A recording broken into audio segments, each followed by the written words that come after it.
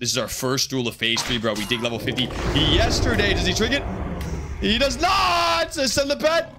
Disarm. Go for the disarm before the step. Autos multi. Look at my fucking damn. My boy. Oh, flip.